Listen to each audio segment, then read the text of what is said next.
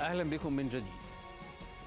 حادث أمني خطير شهدته العاصمة الإيرانية طهران اليوم تمثل في اغتيال مسعود علي محمدي العالم النووي والمدرس في جامعة طهران في اعتداء بواسطة دراجة نارية مفخخة تم التحكم فيه عن بعد أثناء خروجه من منزله. وقد تضاربت الأنباء حول الجهة التي تقف خلف عملية اغتيال العالم النووي التي تأتي في وقت تواجه فيه إيران أزمة مع الدول الغربية بخصوص ملفها النووي.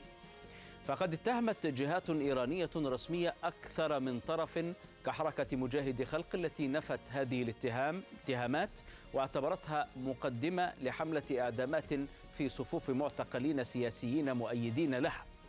كما نفت الجمعية الملكية الإيرانية المعارضة أي علاقة لها بعملية الاغتيال متهمة من جهتها المخابرات الإيرانية بتدبيرها. إلا أن الاتهامات لم تقتصر على جهات في الداخل بل شملت أطرافا خارجية كالولايات المتحدة وإسرائيل. كما ساد التضارب المعلومات المتعلقة بمواقف الضحية وانتمائه السياسي. ففي حين قال التلفزيون الإيراني إنه ملتزم وثوري داخل النظام قالت مواقع المعارضة الإصلاحية إن محمدي كان خلال الانتخابات الرئاسية من الأساتذة الجامعيين الذين وقعوا عريضة مؤيدة لمير حسين موسوي. فمن هو مسعود علي محمدي ومن هي الجهة التي تقف وراء اغتياله؟ ولماذا الآن؟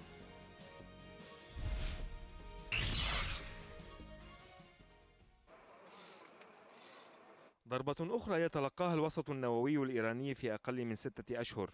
إذ دوى في قيطرية شمال العاصمة صوت انفجار أودى بحياة مسعود علي محمدي أستاذ الفيزياء النووية. وهو اغتيال لم تشهده العاصمة الإيرانية منذ استهداف قائد القوات البرية علي صياد شيرازي عام 1999 دراجة نارية مفخخة استهدفت الأستاذ الجامعي الذي يتطلب اختصاصه النادر حماية أمنية استثنائية. حادث فتح الأعين على مسألتين الأولى أن هذا التفجير قد يفتح الباب أمام تفجيرات أخرى لن تكون الأجهزة الأمنية الإيرانية قادرة على السيطرة عليها أو توظيفها في الإطار الذي تريده.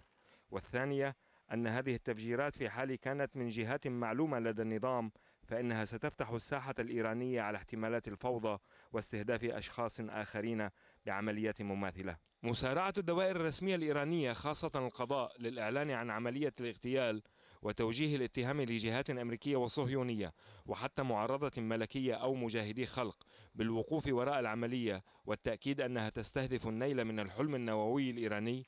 كل هذا يزيد من الشكوك بدور أجهزة النظام في هذه العملية وأنها استهدفت مختصا في المجال النووي الأشد حساسية من الناحية الوطنية وهو ما قد يعطي هذه الأجهزة المسوغة لضرب المعارضة بيد من حديد بحجة أن الاعتراضات أدخلت البلاد في حال من الفوضى الأمنية.